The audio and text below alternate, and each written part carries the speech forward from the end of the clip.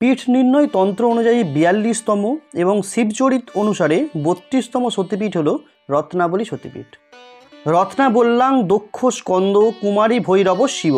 অনেকে মনে করেন রত্নাবলী দক্ষিণ ভারতের মাদ্রাজে অবস্থিত। তবে সতেরোবার পীঠ ভ্রমণকারী ভূপতিরঞ্জন দাসের মতে রত্নাবলী বঙ্গের পীঠস্থান। মহালিঙ্গাষ্টক স্তোতে রত্নাকর নদী তীরে ঘণ্টেশ্বরের উল্লেখ রয়েছে। তো হ্যালো বন্ধুরা, কেমন আছো সবাই? আশা করি সবাই ভালো আছো আর ভালোই থাকো। তো ওয়েলকাম টু ট্যুর গাইড আজকের ভিডিওতে আমি আপনাদের দর্শন করাবো রত্নাবলী সত্যপীঠ বা ঘণ্টেশ্বরী শিব মন্দির। ভিডিওটা সম্পূর্ণ দেখলে আপনারা জানতে পারবেন এই রত্নাবলী সত্যপীঠ বা ঘণ্টেশ্বরী শিব মন্দিরের ইতিহাস সম্পর্কে এবং এর সাথে এখান, এখানে এসে কীভাবে পুজো দেওয়া যাবে, কীভাবে প্রসাদ খাওয়া যাবে মানে কমপ্লিট ট্যুর গাইড কিন্তু আপনারা এই ভিডিওতে পেয়ে যাবেন। তো চলুন দেরি না করে আজকের ভিডিওটা শুরু করি। প্রথমেই আলোচনা করব এখানকার ইতিহাস সম্পর্কে। দ্বিমত থাকলেও বাংলার শক্তিপীঠের এক পীঠ হল হুগলি জেলার আরামবাগ মহকুমার খানাকুলে অবস্থিত রত্নাবলী মায়ের মন্দির সহ ঘণ্টেশ্বরী শিব মন্দির। সতীপীঠ মানে সেই পীঠস্থান যা আগাগোড়া সিদ্ধ।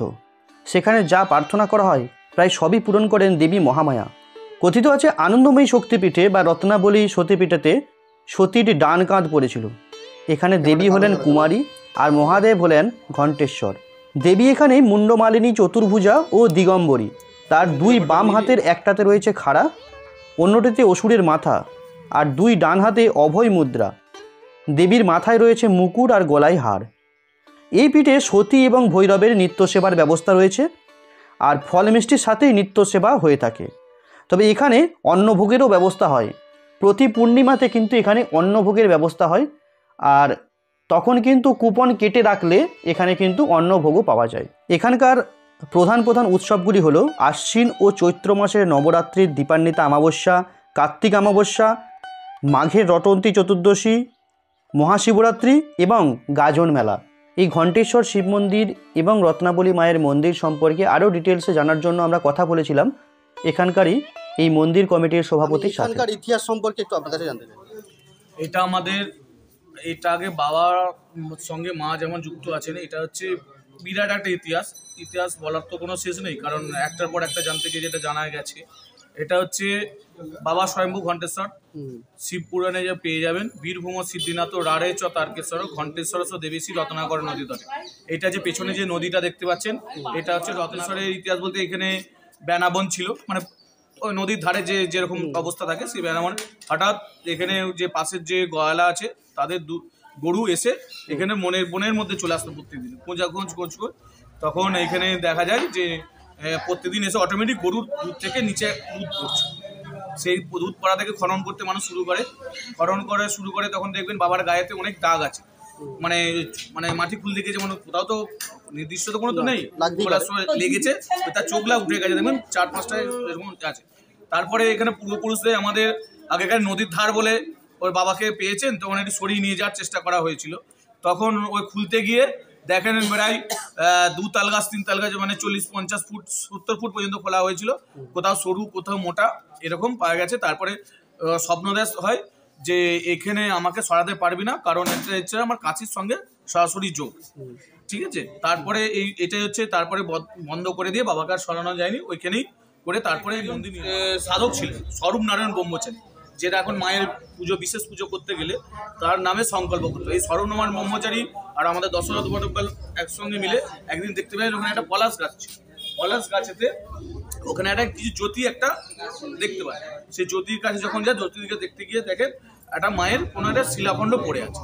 সেই মানে ডান্স খণ্ড মতন একটা কোনো একটা শিলাখণ্ড পড়ে আছে। নিয়ে আর রত্নাকর নদীর তীরে যেটা পুরানো নদী রত্নাবলী রত্নাকর নদী তার সঙ্গে রত্নাবলী মায়ের মা হচ্ছে এখানে কুমারী মা সিঁদুর করেন না।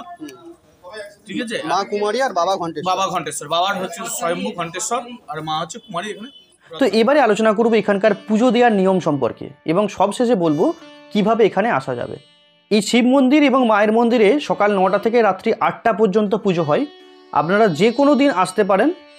আর যে দিনগুলো বিশেষ বিশেষ দিন মানে এখানকার অনুষ্ঠানের দিনগুলোতে কিন্তু প্রচুর পরিমাণে ভিড় হয়। শিবরাত্রি, টিবরাত্রিতে প্রচুর ভিড় হয়। তাই যদি কোনো অফ ডেতে আসেন, তাহলে কিন্তু এখানে ভিড় একদমই পাবেন না। আসবেন, পুজো দেবেন, খুব ভালোভাবে সমস্ত মন্দির দর্শন করবেন, তারপর কিন্তু এখান থেকে আবার বাড়ি চলে যেতে পারবেন। আর এই বিশেষ দিনগুলোতে কিন্তু একটু ভিড় বেশি হয়। যখনই আপনারা মন্দির প্রাঙ্গণে আসবেন বা মন্দিরের কাছাকাছি আসবেন, মন্দিরের পাশে অনেকগুলি পুজোর সামগ্রী বিক্রির দোকান আছে। সেখান থেকে পুজোর ডালা কিনে নিন এবং পুজোর ডালা কিনে নিয়ে আপনারা মন্দিরে পুজো দিতে আসুন। এখানে মন্দির কর্তৃপক্ষকে আপনাকে একটি দশ টাকার কুপন কাটতে হবে মন্দির কর্তৃপক্ষর কাছে। মন্দিরের সামনে টেবিল নিয়ে একজন আধিকারিক বসে থাকেন এবং সেখানে প্রত্যেকের জন্য পার হেড দশ টাকা করে টিকিট কাটতে হয়। এই দশটা টাকা কিন্তু মন্দির উন্নয়ন ফান্ডে জমা হয়। যেহেতু এখানে কোনো সরকারি অনুদান এসে পৌঁছায় না, তাই এটাই কিন্তু এনাদের এই মন্দিরকে রক্ষণাবেক্ষণের জন্য ব্যবহার করা হয়। এরপর আপনারা এখানে এসে একজন ব্রাহ্মণকে সিলেক্ট করবেন বা আপনার যদি আগে থেকে কোনো ব্রাহ্মণের সাথে যোগাযোগ না থাকে, তাহলে এনারাই এই মন্দির কর্তৃপক্ষই আপনাদেরকে একজন ব্রাহ্মণ ঠিক করে দেবে, যিনি আপনাদের পুজো করবেন। এবং এখানে ব্রাহ্মণ ঠাকুরদের বা মন্দির কর্তৃপক্ষের আলাদা করে কোনো দাবি নেই মানে পাণ্ডাদের যেমন একটা দাবি থাকে যে এত টাকা দিতে হবে, এরকম কিন্তু কোনো কিছু নেই। আপনারা পুজো দেবেন, পুজো দেওয়ার পর আপনাদের যৎ সামান্য দক্ষিণা আপনারা ব্রাহ্মণকে দেবেন। আমরা পুজো দিয়েছিলাম আর আমরা যে ব্রাহ্মণ ঠাকুরের সাথে পুজো দিয়েছি, যে ব্রাহ্মণ ঠাকুরের কাছে পুজো দিয়েছি, তো ওনার কন্ট্যাক্ট নাম্বার আমি ডেসক্রিপশানে দিয়ে দেবো এবং স্ক্রিনেতেও দিয়ে দিচ্ছি।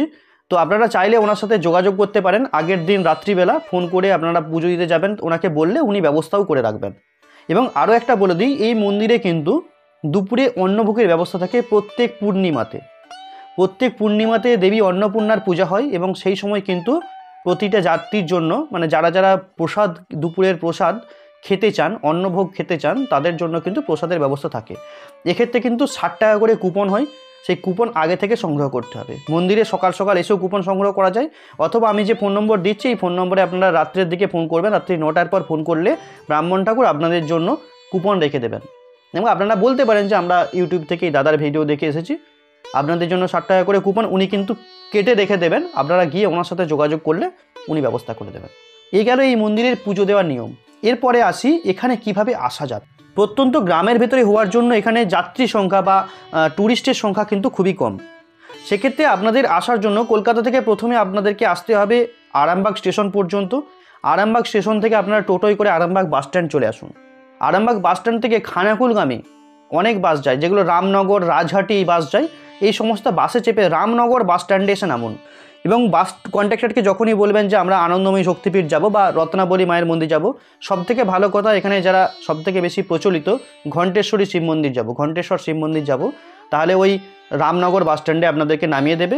আর রামনগর বাস স্ট্যান্ড থেকে আপনারা টোটোই করে ওখান থেকে এক কিলোমিটারের মতো, এক কিলোমিটারও হয় না, এক কিলোমিটারের মতো রাস্তা হেঁটেও যেতে পারেন অথবা টোটোই করে মন্দিরের সামনে গিয়ে পৌঁছতে পারেন। আরামবাগ থেকে কিন্তু অনেক কটাই বাস চলে, তাই একটু সকাল সকাল এলে আপনাদের অসুবিধা কিছু হবে না। এরপর পুজো টুজো দিয়ে যদি কেউ প্রসাদ খেতে চান, প্রসাদের দিনে আসলে প্রসাদ প্রসাদ খাওয়ার পর কিন্তু আপনারা বিকেলের দিকে আবার একইভাবে বাস এবং টোটোর মাধ্যমে আরামবাগ স্টেশন পর্যন্ত পৌঁছে যাবেন এবং পৌঁছে গিয়ে সেখান থেকে যে যার বাড়ি মানে কলকাতার উদ্দেশ্যে রওনা দিতে পারেন। এর সাথে বলে রাখি, আপনারা যদি আরও একটা দিন হাতে সময় নিয়ে বেরোন মানে যদি আর একটা দিন আপনাদের হাতে সময় থাকে দুদিনের যদি ট্যুর করেন, তাহলে আপনারা এই মন্দির দর্শন করার পর আরামবাগ চলে এসে ওখান থেকে আপনারা কামারপুকুর রামকৃষ্ণদেবের জন্মস্থান এবং তার সাথে জয়রামবাটি, সারদা মায়ের জন্মস্থান, এই দুটো জায়গাও কিন্তু আপনারা একই সাথে এই প্রোগ্রামের সাথেই অ্যাড করে ঘুরতে পারেন। সেক্ষেত্রে আপনাদের আর একটা দিন এক্সট্রা সময় লাগবে এবং সেই প্ল্যানটা কি করে করা যাবে, তো সেটা নিয়ে আমরা পরের ভিডিওতে আসছি। তো আশা করি আজকের ভিডিওতে আপনাদের রত্নাবলী মায়ের মন্দির দর্শন করাতে পেরেছি এবং আপনারা জানেন আমরা সমস্ত শক্তিপীঠগুলোর দর্শন করে বেড়াচ্ছি। তাই যদি এরকম সমস্ত শক্তিপীঠের দর্শন করতে চান এবং এই ধরনের সুন্দর সুন্দর ট্যুর রিলেটেড ভিডিও দেখতে চান বা কীভাবে যেতে হবে, এই সমস্ত কিছু জানতে চান, তাহলে কিন্তু আমাদের চ্যানেলকে সাবস্ক্রাইব করুন আর নোটিফিকেশান বেলটা অন করে অলেতে সেট করুন যাতে এই সমস্ত ভিডিওর নোটিফিকেশনগুলো খুব সহজে আপনাদের কাছে পৌঁছে যায়। তো চলুন টাটা বাই বাই আজকের মতো এখানেই। দেখা হবে পরের ভিডিওতে কামারপুকুরের ব্লগ নিয়ে।